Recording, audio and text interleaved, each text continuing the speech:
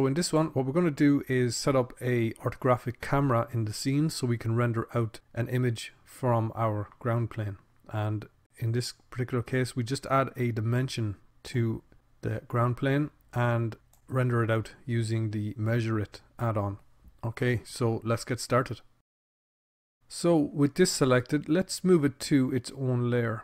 So I'm going to come over here to layers and what I might do is put it on layer 2 temporarily. So I'm just going to rename this and I'm going to call it ground view for lack of a better word and move this object to that layer. I can also switch it on. Okay, and I'm going to switch off the ground mesh. I'm kind of finished with that for the moment. Okay, the next thing I'm going to do is select the camera in the scene here and I'm going to press 7 for top view and just zoom out. Okay, and I can zoom in just over here. So we have our so we have our location in view. Next thing I want to do is this I'm going to switch off the visibility of this background image and just close this up here. Okay, so with this in sight, I'm going to press Control Alt 0. Just make sure you have the camera selected and it'll snap the camera into that position. So the camera is in a perspective mode. Uh, what I'm going to do is come over to the camera settings and switch this from perspective to an orthographic camera. Press 7 and what I'm going to do is just press N to hide this. I'm going to hover the mouse here and get across, drag this out, or press and hold and drag it out I should say. I'm just going to press 1 here on this and I'm actually going to select this guy. Let's see where we are. Okay. It's going to select the camera again. Just press 1. Drag this down. Okay. So if I press 0 now, we're much closer to where we need to be. I'm going to zoom in here. Okay, so that's that's a little bit better. It's not too important where exactly it is, just once it's in view. Okay, so with that, I can come over to my orthographic scale and I'm just going to scale this up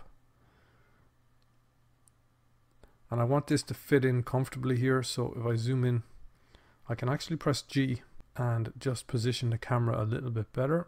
Okay something like this. You can zoom in further and maybe get it exactly where you want it. And left click. Okay so scale wise I might just put this up to 25 to give it a nice clean scale. And I'm just going to come back up here get the cross press and hold the left mouse button drag to the right and you get a large arrow and that just closes that up when you release. Okay, so let's do a quick render and make sure everything is okay. So I'm going to select our object and I'm actually going to change it from a red color now to a, no red will be fine actually. What I do want to do is come over to display. I'm going to tab into edit mode and switch to vertex selection.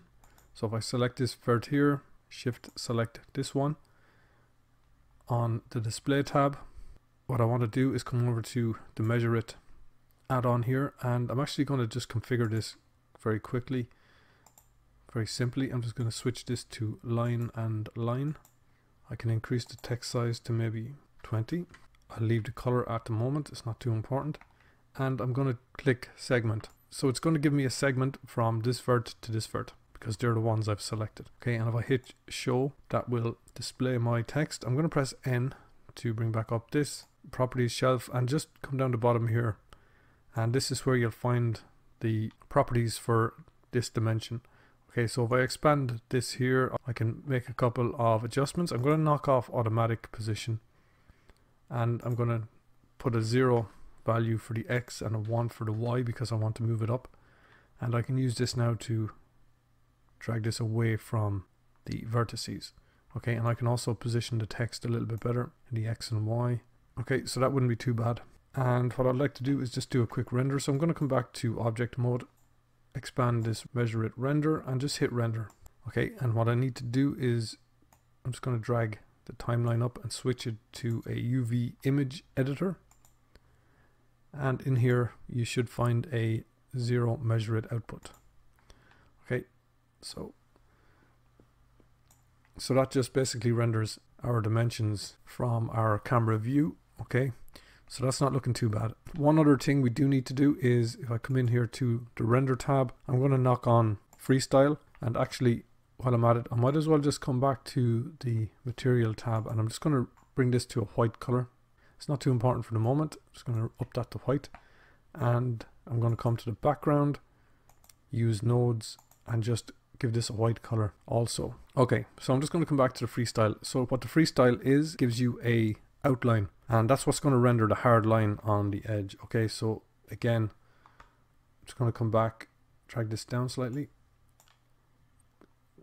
just going to give this another quick render. So hit the render button.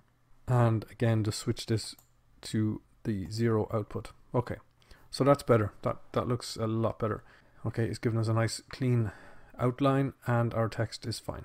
Okay, so that's pretty good. That's just all I wanted to test there. Okay, and otherwise that's going to do it for this one.